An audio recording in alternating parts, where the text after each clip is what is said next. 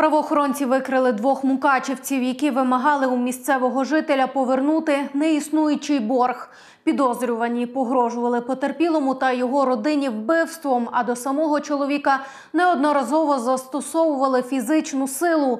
Фігурантів затримали саме після отримання 10 тисяч гривень, які призначалися як частина від загальної суми боргу. Е, Ці грошові кошти слідчі вилучили в якості речових доказів самих е, мукачівців е, віком 27 і 29 років.